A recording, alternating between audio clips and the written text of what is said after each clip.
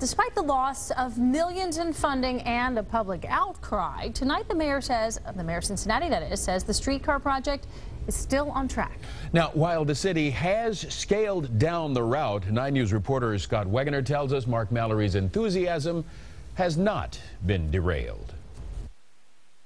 I know there have been a lot of questions. Cincinnati Mayor Mark Mallory gathered the press together today to offer up answers to the fate of you know what. We are moving forward with the streetcar project. Despite the axing of $52 million from the state of Ohio and even a law passed in the State House prohibiting any state money going to Cincinnati's streetcar, Mallory and the city manager say they're moving forward. Our overall vision has not changed regardless of the obstacles that we have had to contend with. The streetcar has been the vortex of a storm of criticism from opponents who see it as impractical and a waste of money. A charter amendment blocking the project is expected to make it to the ballot in November. Regardless of all the things that people that have issues with this project are saying, from the folks that have a responsibility to believe in this city and try to move it forward, we are unapologetic advocates. With just under $100 million to work with, the route has been scaled back.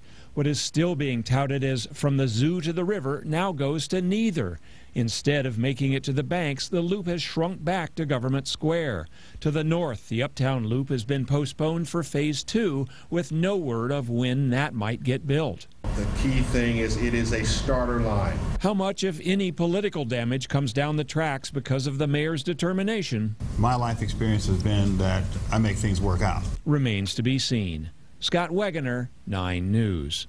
The remaining money for the streetcar is coming from a combination of grants, private funding, and city bonds.